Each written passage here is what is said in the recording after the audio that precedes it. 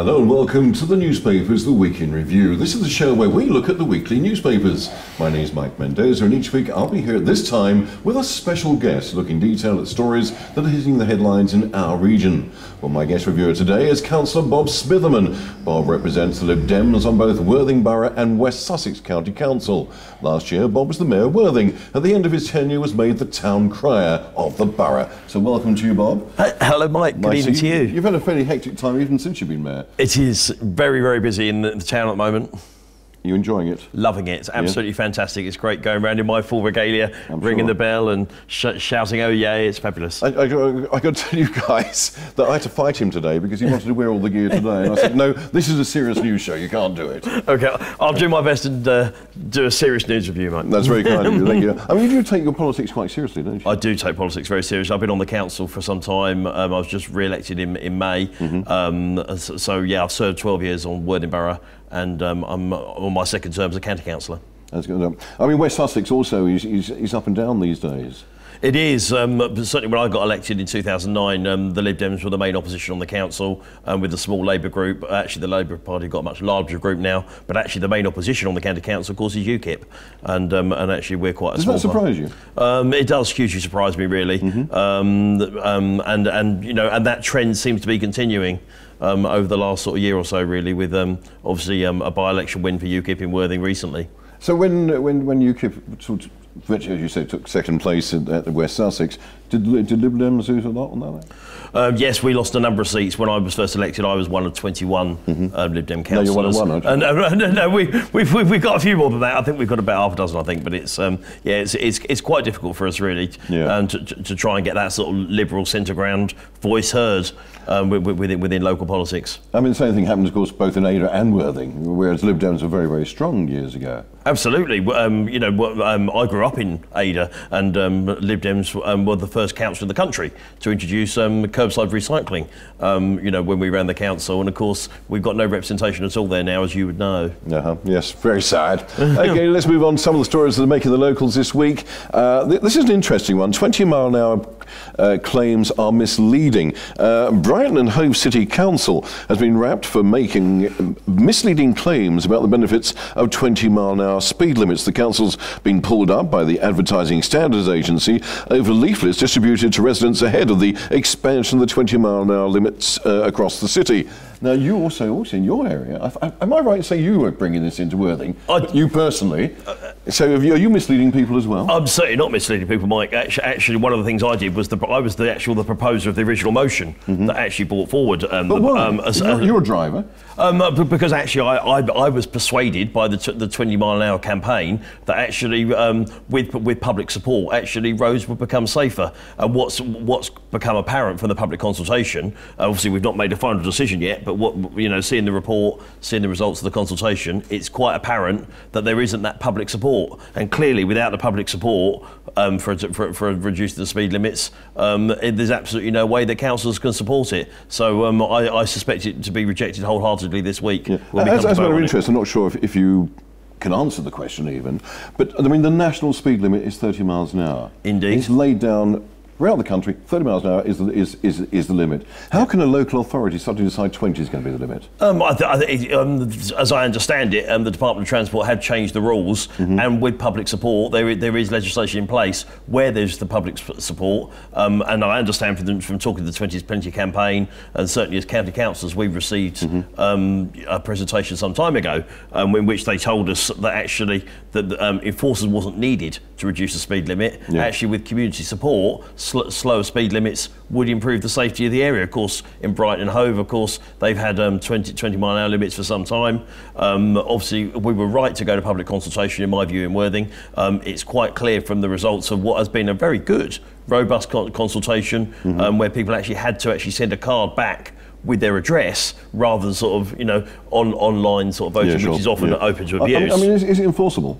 Um, my understanding is from talking to the 20 mile an hour campaign, actually the success of the areas it works is actually enforcement is not the idea. Yeah. It's actually where people want to drive slower. And yeah, absolutely, it's about awareness and, and people drive slower. But clearly, without the public support, and obviously it was a, a very big turnout in the consultation, mm-hmm. almost 70% um, with two thirds of those 70 saying they don't want it, then clearly um, there isn't the community support, and clearly councils shouldn't vote for it. Uh, and apparently, there's been no prosecutions at all of people going over the 20 miles an hour limit in, in Brighton. Absolutely, absolutely. And you know, I know ACPO have got very clear guidance on on, on how they um, approach um, the, the enforcement side of 20 mile an hour limits. And um, so, yeah, it's, it's going to be quite an interesting meeting, I think, on Wednesday. But um, I think one of the things that's worth noting um, um, in Worthing, where we had the consultation, we were one of the few areas in the country where there was a 20 pointless campaign as well as a 20 yeah. pro campaign. And I think uh, ha- having, I, having the two sides. Can I declare my interest because I would certainly support those against it.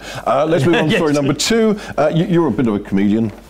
You think you are. Uh, Jokers spoof plans to transform the county. This is a very funny story, actually. It's about a guy who's putting up spoof planning notices around Brighton and Hove, and some of them really are funny. Uh, he's he is actually a comedian. Um, uh, his name is Phil Lucas. He took to the streets of Brighton Hove to post the wacky planning posters proposing everything from a 40 metre high otter's head uh, off Brighton Beach to a museum of taxidermy to replace Jamie Oliver's famous cafe in Western Road. Uh, I mean, some of these are really, really funny, like a special tribute uh, to, to, various well-known people around the country. Uh, I mean, what would you think? Would you, would you do that sort of thing as a joke? Um, I'm not sure. Um, as, as, a, as, as said in the introduction, Mike, I am quite a serious councillor, despite the, the fact that I do have, have, a bit of a joke from time to time. Um, so yes, no, I don't think this is something that I would do, but actually, it is very funny, and, and actually, I think actually as councillors, I think we do have to lighten up a bit and um, and and take these sort of things in in, in with, with the humour that they're meant, really. And um, all credit to Phil, I think I think actually this is this is quite a lot of fun. Um, it'd be quite interesting to talk to some of my council colleagues in Brighton um, to, to, to see how they react um, so, so certainly, our planning committee have some very strange applications from time to time, but I don't ever recall seeing anything quite as funny as this, really. So yes, I mean, I think a Bruce Forsyth uh, tribute would be quite nice, which is what he's proposing. I think in Palmeira Square, dig it up and put a, a tribute to uh, Bruce Forsyth. Uh, let's move on to another story. This is from the Argus. Uh, bus drivers ready to strike if bosses don't up pay offer.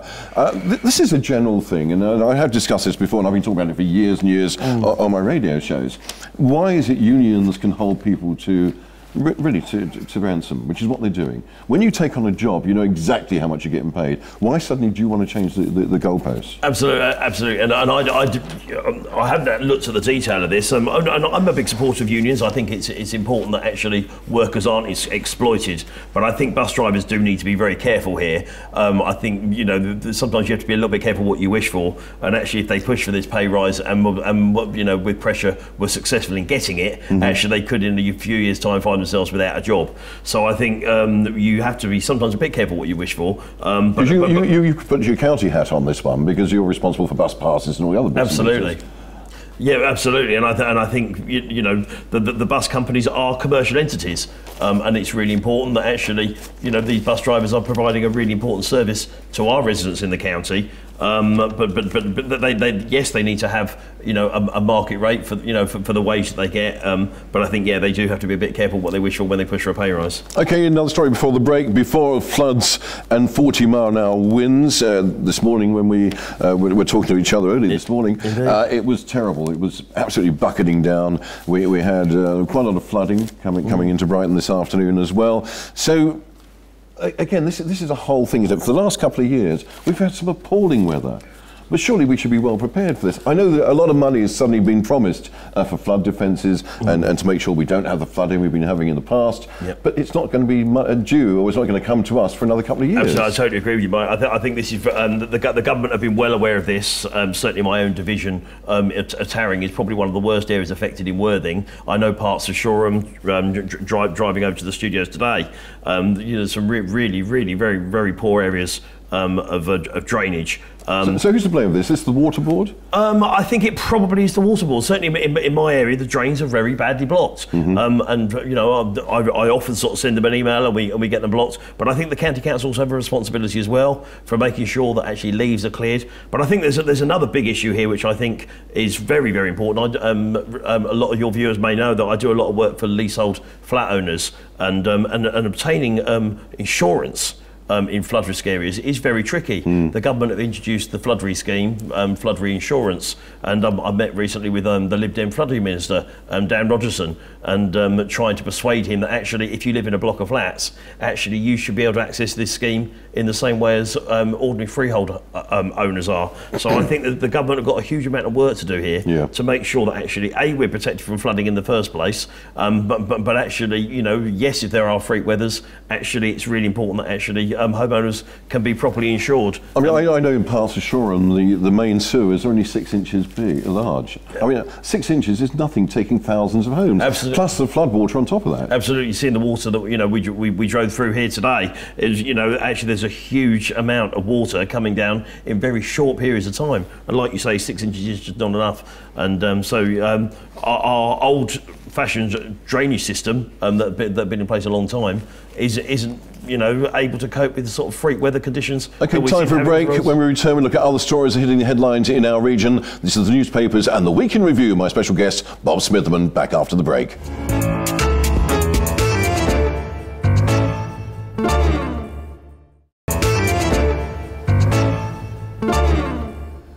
Well, welcome back to the newspapers and the Week in Review with me, Mike Mendoza. My guest, Bob Smytherman, Lib Dem councillor on both Worthing Borough Council and West Sussex County Council.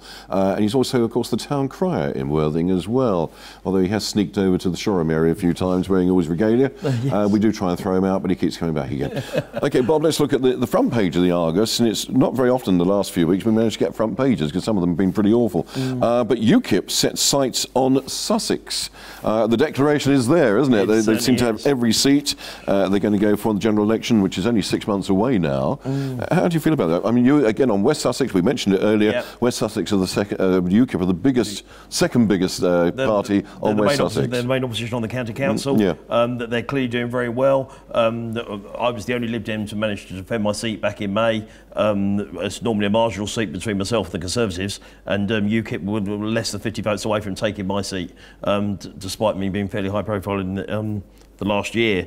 Um, yeah, it's, it's for, for, me as a liberal, um, as somebody on the centre ground, I consider myself to be on the kind of the sort of centre ground of politics. I think this is really quite worrying because I think you've got the Conservatives that are sort of moving off to the right to deal with the UKIP threat. Um, you, you, know, um, UKIP have got, you know, certainly from my perspective, have got some pretty strange policies, um, which, which, I can't subscribe to at all. Um, Labour, of course, because of what's happened in Scotland um, and, you know, the um, SNP going to the left, the Labour Party is shooting off to the left to deal with that. And actually that's leaving a gaping hole in the central politics, which has historically has been occupied by ourselves as Lib Dems, um, but clearly, um, you know, with going into coalition nationally, that's had a real impact on our party's fortunes. Were, were you upset about the coalition? Uh, no, I was a big fan of the coalition. I, th- I, I think Nick Clegg did the right thing.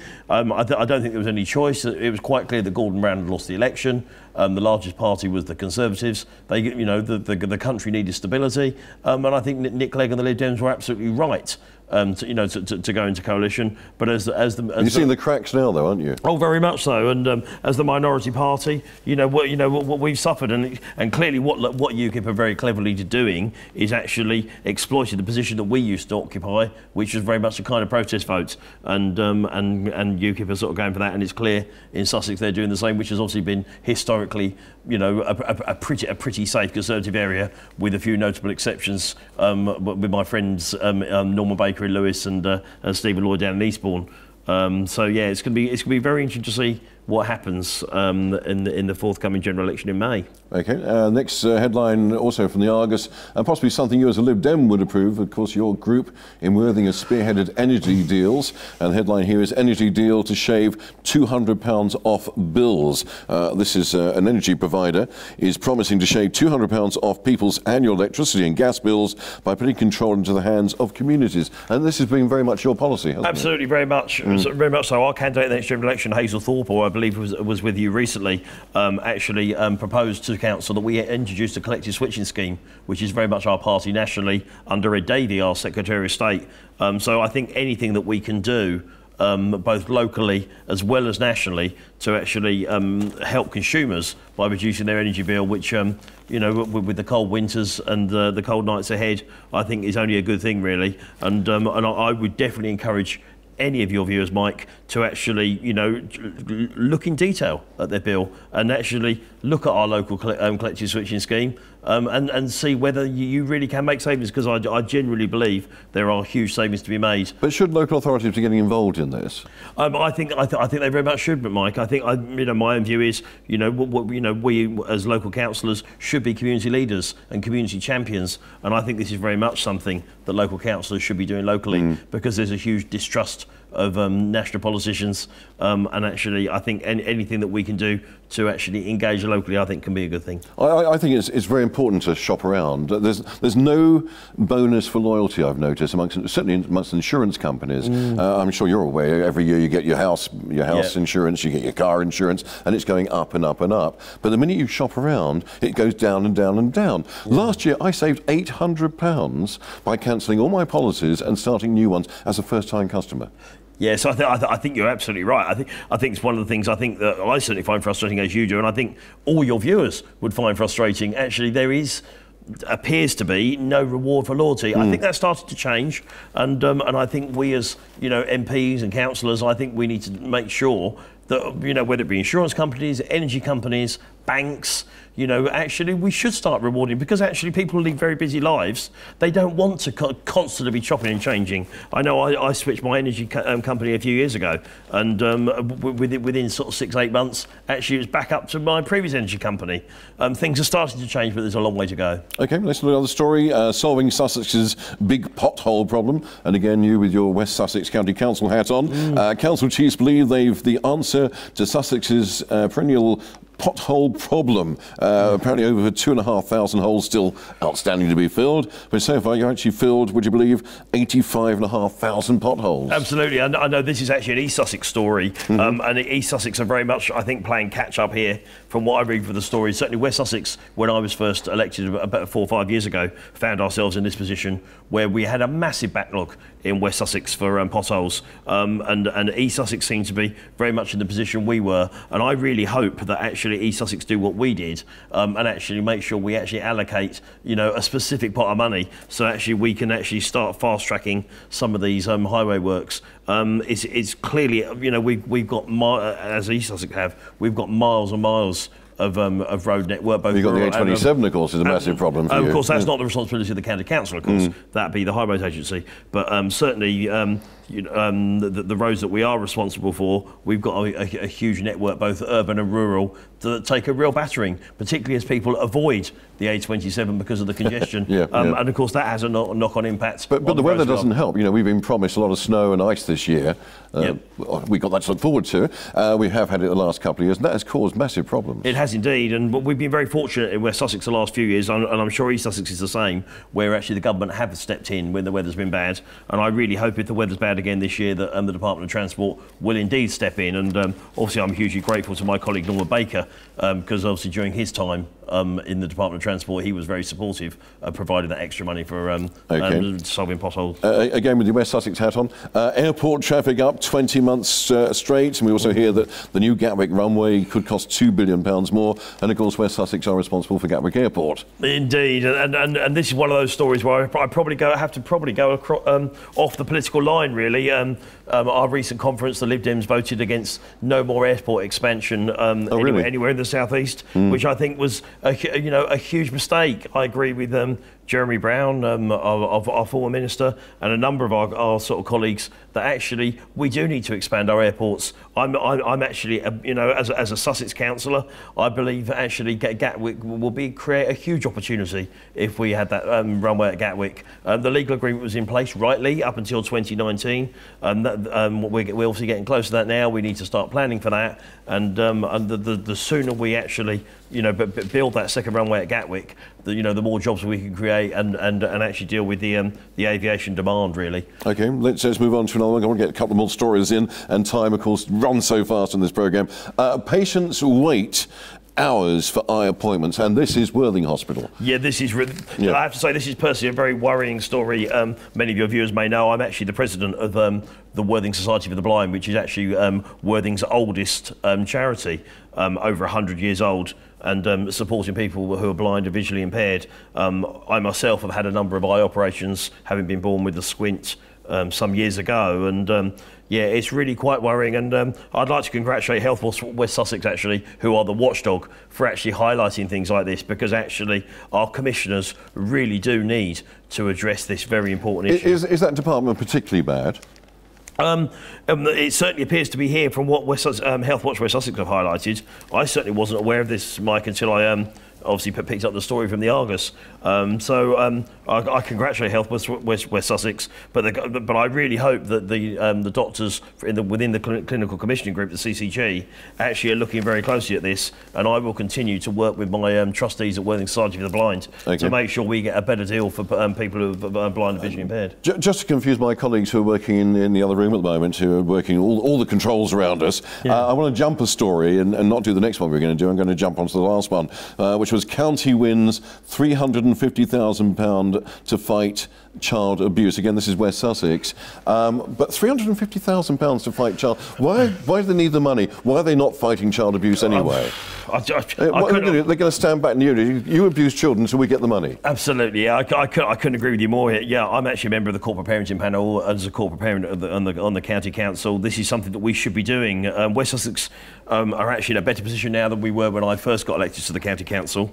Um, many of your viewers will remember that um, we were actually found to be inadequate by Ofsted um, in West Sussex, and um, um, fortunately um, we came out. But we are expecting an Ofsted inspection at any time, um, and um, uh, yeah, it's, it's this, this is a really strange story. It's um, it's right that child abuse. Were you aware of that, by the way? I, I wasn't until I picked up the Argus this week. I mm-hmm. wasn't aware of this, um, but, but but but obviously uh, I'm aware of obviously a lot of things going on nationally, and obviously what we're doing locally at West Sussex to prepare for Ofsted, um, and we've got a lot of preparation to do really. Um, okay, sadly we've run out of time. Uh, my grateful thanks to Councillor Bob Smytherman for joining me today. Bob, I hope to see you back here soon. I'm sure you'll come back. Thank you. Um, I'm back next time for another edition of the newspapers and the week in review here on Latest TV with another special guest. Next week, I'm joined by the Reverend Peter Dennett. Bye for now. See you next time. Thanks, Bob. Thank you.